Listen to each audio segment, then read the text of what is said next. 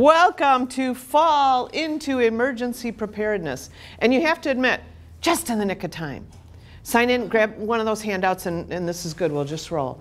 Um, who knew in the infinite wisdom of Lena Kalemba and Kathy Hayhurst. I mean, to plan a session like this for everything that's going on in the world right now is really quite incredible. So kudos to you guys. Um, as I just said, 30 minutes is going to go real, real fast. So here's the great news.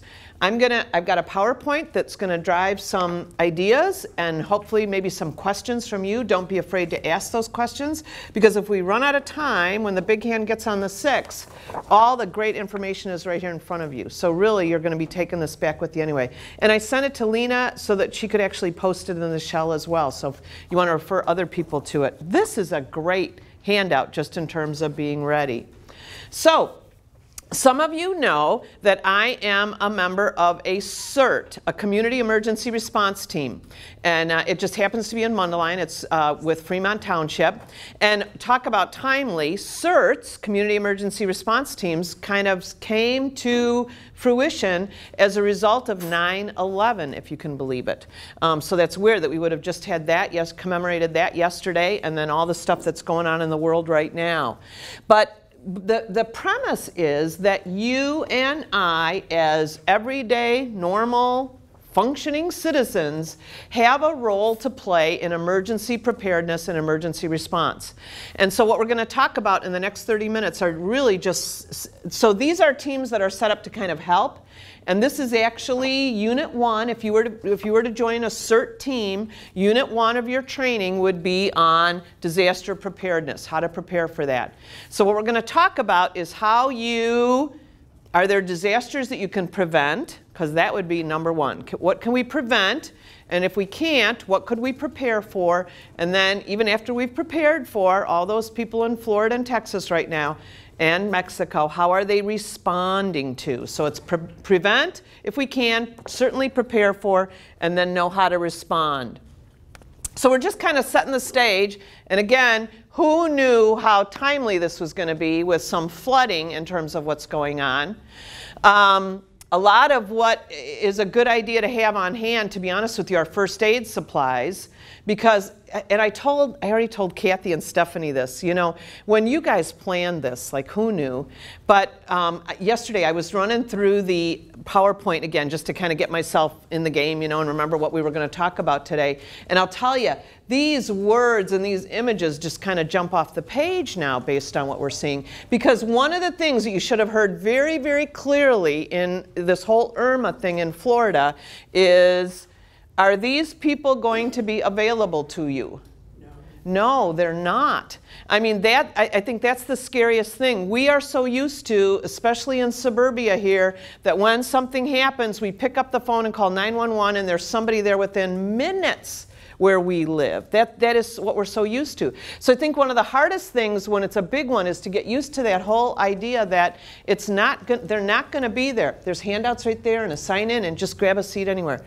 Um, they're not going to be there and so you've got to be prepared you have to have some things in ready to go because they're not going to be able to do that so here's what we're going to talk about the different roles and responsibilities that different people play in community preparedness. What are some hazards that are specific to us? This is a national training, so they're going to talk about earthquakes and stuff, and while that could happen here, um, we don't typically worry about earthquakes and hurricanes here. Um, and then what are some personal things that you can be doing personally to take action right now to make sure that you're prepared? What does the government do? The government has responsibility to make sure that there are emergency plans in place. They do that. To be honest with you, Crystal Lake Police has made absolutely sure that MCC has an emergency preparedness plan. Did you know that? It has to be on file with them. It has to be something that's looked at regularly and that is updated. We have to have that. The government mandates that that happens. We have to ensure that um, the government is also going to make sure that emergency responders have adequate skills and resources. That's great. That's our tax dollars at work, okay? And then they'll provide services to protect and assist us. That's what the government does. Community leaders have that responsibility to participate in preparedness. They've got local collaborative planning councils. They, they are definitely involved in this. They identify appropriate resources and they ensure that facilities, staff, and customers are prepared. Here's us. We are the public, okay? So what's our role in this? We need to know, we need to make absolutely sure that we understand how we would be alerted, warned, in an emergency situation and, and know um, how we would evacuate if we were called on to do that. One of our responsibilities, you guys, is to take training. It's very cool that you're here. This is some great information to make yourself familiar with, but there are a number of different training opportunities that are available to you. First aid and CPR training would be terrific because if it was the big one, like I just said, EMS is not going to be able to show up at your door the way we are accustomed to. We need to practice our skills and our personal plans. We need to network, be willing to help others. Big thing in CERT um, that we talk about is that our number, who's the number one person we take care of? It's me, yeah, ourselves. So it's, it's me, my family, and my neighbors. That, that's kind of, it, it, for us as individuals, that's who we're thinking about. It's us first, safety, it's us first, then our family, and then our, um, communi- uh, our community around, our neighborhood. And here at work, it would be us first, but then it's the people on your work team that you would be looking out for as well. We give feedback to the community, especially if something isn't working. This is key in terms of what we do. That reporting suspicious activities that's, I mean, we're all about that right now here. We, we have that behavioral intervention team, right? We have that see something, say something campaign. And that should carry on over into your real life as well as your work life. If you're seeing something in your community that just doesn't seem right, there's a car that's been parked out on my street that, I mean, with a play, uh, you know, I don't, that car's not usually there. You pick up the phone and you let the police know. You notice um, you're just out, you know, for a walk and you notice a bunch of people just kind of walking around your local school and acting just kind of weird, taking pictures of some, you know, it's just like when you look at something and you say, ooh, that seems kind of weird, the whole idea is you have to report that. And you know what? If the, poli- if the police look into it and it's nothing, if MCC police look into it and it's nothing, oh well, they don't care. They'd rather have you say it up front. If your local police look into it and say it was nothing, oh well. But if it is something, you've helped to prevent something from happening potentially. We can always volunteer. Okay, different kinds of disasters. Name some natural disasters. This should be really easy. Tornado. Tornado. Hurricane. Earthquake. Flooding. We've experienced, I mean, this is like uh, talk about the over the summer, okay? It's wildfires. Wildfires. Mm-hmm. Although one could, you know, wildfires could be in that. Because, um, you know, when we talk about technological, what are some technological disasters that could happen? Nuclear. Nuclear power grid, which we know is outdated. I mean, that's incredible, but if somebody were to take that down. Intentional, we have a tendency to think of terrorist attacks, perhaps. And in some ways, probably these two, I mean, if you think about it, a natural disaster really isn't preventable that it's going to happen. We can prevent and maybe mitigate, kind of reduce some of the impact from it, but we can't stop it from happening. Whereas the technology, technological and the intentional, perhaps we could stop it. Wildfires might fall under that intentional, or um, maybe it's more careless than intentional. But um, so, how do you define a disaster? They're unexpected. We did, I mean, if we knew they were coming, you know what I mean? But we don't always know they're coming. So usually they're unexpected. Usually, if it's a big one, emergency personnel are overwhelmed, and um, lives, health, and the environment are endangered. And here's the really, really good news. It appears that with all the um, proactive communication and heating that happened with Irma, it appears that not a lot of lives and um, not a lot of infrastructure was damaged. What's, we're without power with tons of water down there. And that, those are huge issues, but they were able to mitigate some stuff. So what are the most common disasters that are going to happen here in Crystal Lake, Illinois? Tornadoes Tornadoes, floods, oh yes, snowstorms. snowstorms, blizzards. Hmm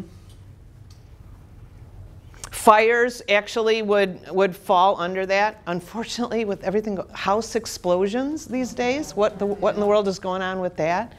Um, but those are happening all over as well. Power outages. Power outages. hmm It's just funny. There, we're going to talk about putting together an emergency supply kit. I ju- it just takes me back. Prior to being at MCC, I was at the Red Cross for uh, 19 years and did community education. I remember so clearly being at Highland Park High School and um, talking to these fairly wealthy um, individuals from the North Shore. And I was talking to them about um, having an emergency supply kit in their house and how important that would be, that they could go without power. And they were just bored to tears. And here I thought I had this wonderful presentation. They were like, blah, blah, blah, blah, blah, blah, blah. Within like the next week, I didn't do anything, I swear. Um, Highland Park was like in a power outage for three days straight. That was almost like inexplicable. It wasn't tied to a storm or anything. I can't remember what caused it. But I thought, oh, those kids, I bet they wish now they had been paying attention and had all those things in their home. But um, so power outages, you know, if, if those go on for a couple of days, that, that's an issue to deal with. That really is an issue to deal with. It depends upon, too, what time of year they happen. It's pretty uncomfortable in midsummer without air conditioning. Um, it's really uncomfortable in midwinter without, without any kind of heating um, in the house. So that's it. Okay, so some you, you would be thinking about what would be recent or historical that happened in this area. Like I say, we don't typically have to worry about hurricanes or earthquakes. Um, earthquakes, I suppose, could happen. Um, and then consider what might possibly happen if services were disrupted. If there's damage to infrastructure, police and firefighters and EMS, boy, they are they're only going to the absolute most important things at that point in time. Um, and we always think that. We, and we even think that when they show up on the scene, they're going to be able to help us, and they might run right past us because they're going on to something that is even more important than what we're dealing with. Lower priority needs are met in other ways, and in a lot of instances, you guys, that's you and I helping neighbors, helping community, helping um, churches, helping whatever it might be, CERT teams out there, whatever it is. Sometimes you don't have an opportunity to select what structure you're going to be in when a disaster occurs. A lot of those homes that are down in Florida now were built with hurricanes in mind. A lot of the, um, particularly schools and universities down there, were built to withstand that kind of wind, that kind of flooding. I mean, they built that with that in mind.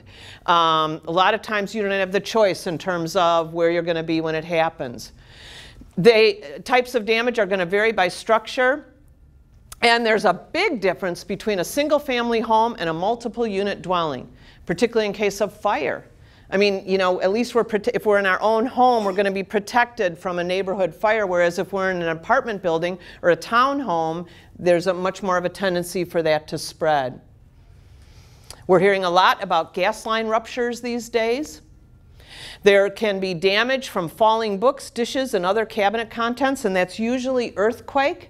But I would point out to you that as of late, um, it's not a bad idea to secure furniture because of just um, furniture falling over on people, as silly as that sounds. Mostly young, young kids that are pulling things over onto themselves. So if you've got bookshelves or an entertainment center that is kind of wobbly or kind of be, you, you really do want to have that secured to the wall certainly if there was an earthquake but also so, so someone doesn't pull it over on themselves electric shock or injury um, make sure that you, um, any of your office equipment here or your appliances that every once in a while you're just kind of checking cords. Make sure that cords are not running underneath um, carpeting or underneath rugs. We have a tendency to put a rug over it because it's unsightly and also then it's not a trip hazard. But again, you're, you're setting up a fire hazard for yourself. Okay? So if we talk about the home and workplace, Oh, and you can't really see this. It's a great emergency supply kit. We'll go over that in just a little bit. But you should be thinking definitely at home tonight. Like, what are some things? We're going to talk about stuff that I bet you're going to say, oh, yes, I've heard this before. But how many of you have an emergency supply kit in your basement or by the front door that's ready to go? You got one? My husband's. Okay, good. So he's really in. It, this really is key to do this. Um, if you take a look, let's just do it because this is probably one of the most important things. It's on page three in here. It's the one that has the red um, down the side.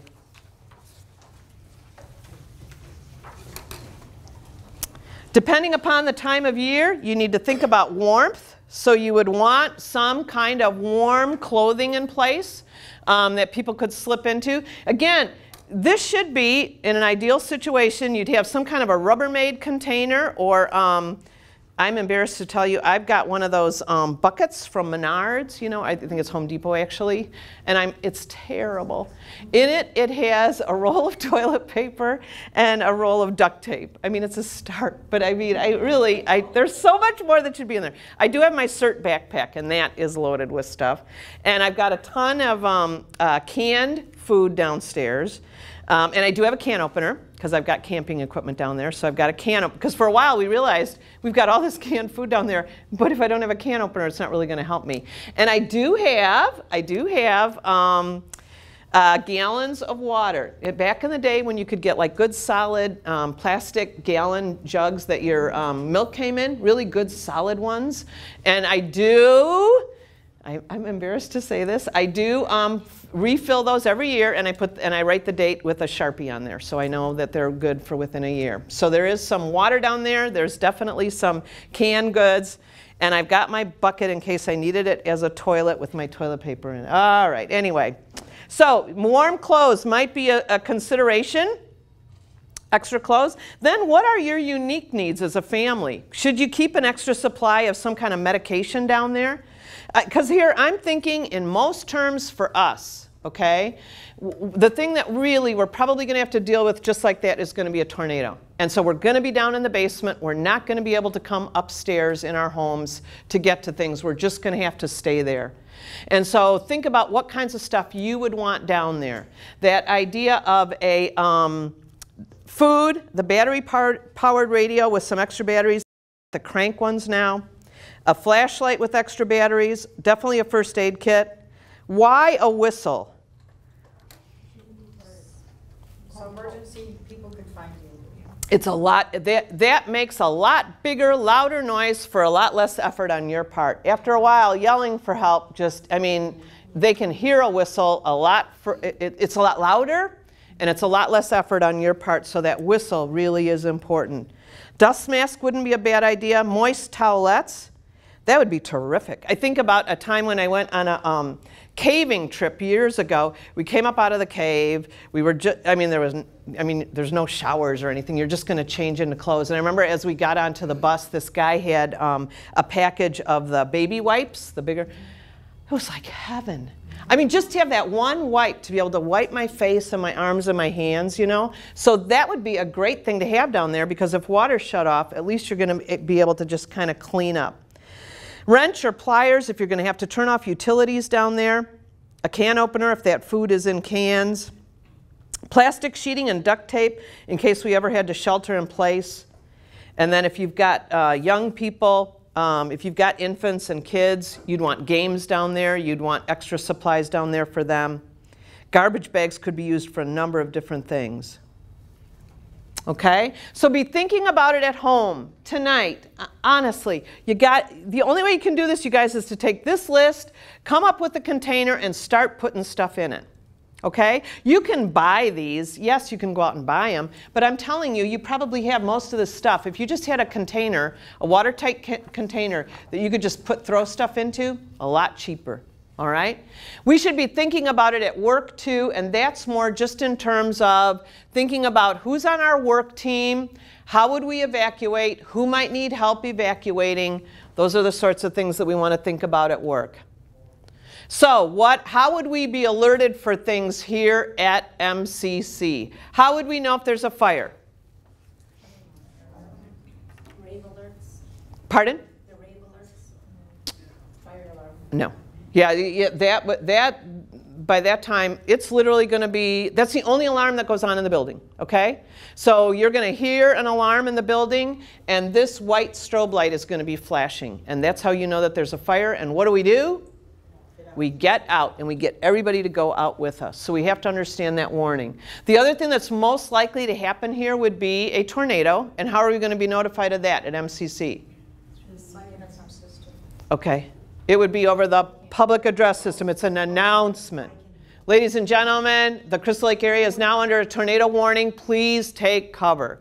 And again, we're all going to move to a place that is away from outside windows, down perhaps as low as we can go, not wide, expansive ceilings. Okay, that's where we're going to go.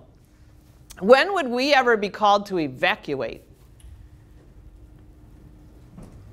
Chemical spill? Chemical spill, we could be called to evacuate. Mm-hmm. A bomb threat? Bomb threat, we could be called to evacuate. So we'd have to know what those routes are.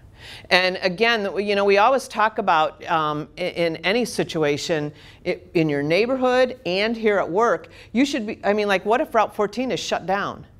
Would you, could you get yourself out the back entrance and get yourself around to anything that would, you know, because for whatever reason, sometimes routes at your home or routes here could be totally blocked off. So you should be thinking about how would I do that? I live in Mundelein, and so my biggest concern for getting home really is getting over that Fox River.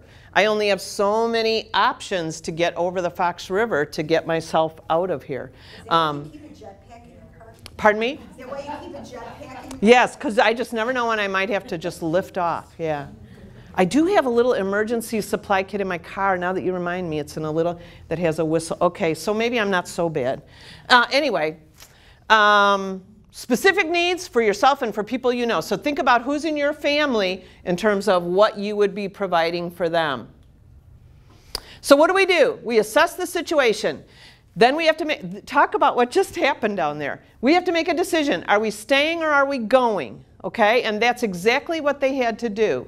Um, in a tornado situation, we are staying. We are sheltering in place. We heard that a lot, okay? But that's exactly, that's that decision that we're going to shelter in place. In a fire situation, we are going. We are getting out of the house. We are not staying there.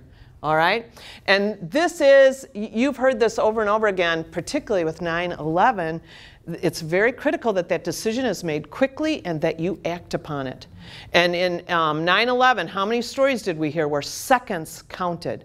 Where it was like I was gonna run down that stairway or I, I was gonna, I was waiting because Laura, I was like, Laura, come on, come on, come on. And you know, some of that is you got to just make that decision and you've got to go. It makes all the difference in the world. It, with this hurricane, that made all the difference in the world in terms of they hit a point where it was like, you have no, no choice now, now you're staying. Um, so again, you got to think and you have to act on it quickly. They talk, uh, they, they um, in the CERT training, they talk a lot about clean air and protecting breathing passages. It's kind of weird. Uh, so certainly in, if any kind of dust is involved, I would definitely do that with one of those masks, the PPE, um, personal protective equipment. Um, they talk a lot in CERT about having the plastic and the duct tape so that you could like in a um, situation where there was some kind of a chemical th threat, you could um, pick out room in your home and seal it off with duct tape and with plastic. Boy, I mean, yes, definitely you could do that, I suppose. I just, I, I don't, at that point, I'm not real sure. Anyway, that's getting us way into a whole nother discussion of how long would that take for that to dissipate and when you get out, who's going to be out there that you're going to be dealing with. And anyway, you've got that. Um, you want to protect yourself from debris and that whistle to be able to signal if you're trapped under something, get rid of any contaminants that you could and to the best of your ability still be able to have um, hygiene, good hygiene habits. So if you're sheltering in place, sealing a room, you identify that room, you're going to stay there for several hours, you've got all your supplies in place. A shelter for an extended stay is more what we're probably up against with a blizzard or a, um, uh, a tornado situation that has some, some um, collapsing. So where we're going to stay there for I, I just can't, for us, it would be really hard to stay for several days. They did that though. It's so weird to think with that hurricane how long they had to wait for it to come after they were in place. And then if you're going to go to a mass care or community shelter, most of the time they've got the supplies there. But you saw people taking along, obviously, personal items with them.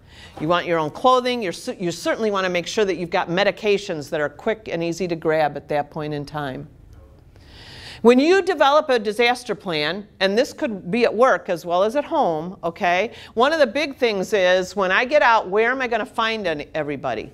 So if I want to check in to, to make sure that Peter got out and Kathy got out and Stephanie got out and Ray got out, where is it that we're going to meet so that we could be able to say that? Certainly want to do that with your family. How many of you have an out-of-state check-in contact with your family? Okay, um, you should have someone, an aunt, an uncle, an, you know, an old friend, or whatever it is. They're in a totally different state so that if something were to happen here, and particularly with cell phone lines and landlines, if those were all shut down or overwhelmed, that you could get in touch with them to say, I am at the college, but I'm fine, and I'm just going to stay here. It just doesn't make any sense for me to try to go anywhere. I, the place where I am is safe. When, when da da da da when my dad calls in, when my mom calls in, would you please let them know? And they say, We've already heard from your mom and dad. They're fine too. They're going to stay exactly where they're at. You get it? So you really need to have that, and you need to make sure that, that your whole family knows who they are. Every once in a while, we quiz our family to make sure that everybody knows who we're calling, and, you know, in what instance to say, to make sure that you check in. Then, that whole idea, am I going to stay? Am I going to shelter in place? Am I going to evacuate? Do I have routes of escape? And again, you know, we talk about this a lot with active shooter stuff now too. Um, literally, as you're sitting in a classroom, as you're sitting in a movie theater, as you're sitting in your church, as you're sitting, you know, wherever you are, have you thought about if I hear something or, eh, you know, how am I going to get out? If I smell smoke, see flame, that thing is going off, but the, the door that I always go in and out is, is no longer available to me. Where else am I going to go? That's, that's one of the most common mistakes that people make, you guys, in an emergency situation. They are always going back to the door where they came in. So I'm at Walmart, I'm at Jewel, I'm at wherever it is, and something starts to happen in there. Something's going down, whether it's an active shooter, it's a fire. All I, I never even think about the fact that there are doors all the way around. There's loading docks in the back of those stores. There's different routes. I need to be thinking and not necessarily all everybody trying to run out the door that we came in. Um, so know your different routes um, and make sure that you're practicing your plan from time to time. Some people are going to need more help. Know who those people are. Know who's mobility impaired for whatever reasons and make sure that you're running drills. Mitigation is to reduce or lessen the impact of the disasters. And make sure that you've got enough homeowners um, coverage on your, on your stuff. But here's some things that you could do. You should anchor heavy furniture, make sure that appliances and office equipment are secured, and make sure that you've checked the, um, the uh, cords on those. We don't need to worry about hurricane storm shutters, but some people are very grateful that they have those today. Um, make sure that our cabinet doors are childproof if we need to do that. Do you know for a fact, could you go home tonight and turn off your gas, your water, and your electricity? You know you could do it. Do you know it? I mean, you, we really should know that, you guys. Um, I can turn off, okay, so I turn off electricity, which is usually throwing that throwing a switch to, to, to, shut it off, if you can picture that in your box, okay? And then how do I put it back on? Turn off all the little ones. No, don't just throw it back on. That's a great surge. Turn off all the little ones then, put it back on, and then turn those on one at a time, okay? What about the gas? I turn that off. Do you know what? You need to go home and see where, what that looks like, okay? If I turn off the gas, who turns it back on? Only the gas company. Once I turn the gas off, I don't turn it back on. I, if I've turned it off for whatever reason, if I've been told to, or if I smelled something and thought I should, that's now I just wait for them to come. Water is probably the easiest. That one we can usually just do by hand. Lefty, loosey, righty, tighty, okay? Um, all right, make sure, we don't really worry about bolting houses to foundations. Again, this is national, and we don't really worry about um, getting our mobile homes down to their slabs, what they really should be. Raising utilities would be a good idea for us. Washers, dryers, freezers that are in the basement might be a good idea just to get them a couple of inches off the ground. It could make all the difference in the world. I'm running out of time here, you guys. Um, fortify your home, get involved, different things that you can do. I can't tell you enough that if you were just to take this and read through it, and especially use page three as a checklist. And at the very, very back, it's got some great information of um, little cards that you could fill out with a family communication plan. You could actually cut those out and make sure that, you know, make copies of this. Have people in your family carrying that in their wallets so that at any time, or should something happen to that family member, your emergency contact information is in there for them to be able to notify you. Protective equipment that certainly, uh, well, CERT members wear that, but um, uh, it wouldn't be a big, bad idea to have some kind of eye protection, the dust mask, and some gloves in your kit downstairs. I think that's it. Oh, oh, oh, oh, oh, oh. Different things that we do at CERT. Who cares about that? So now, you should be able to identify roles and responsibilities for community preparedness, what the government does, what agencies do, but mostly we're talking about what you can do, all right? And then you should know some different hazards that affect this community. And tonight, you got to take this book home and do some stuff, or none of this counted. Do you know what I mean? Because you can know all of this, but if you don't take this home and do some stuff, it doesn't work. If you have any questions, you know, you, got, you, know, you know where to find me, okay? Thank you all. The end.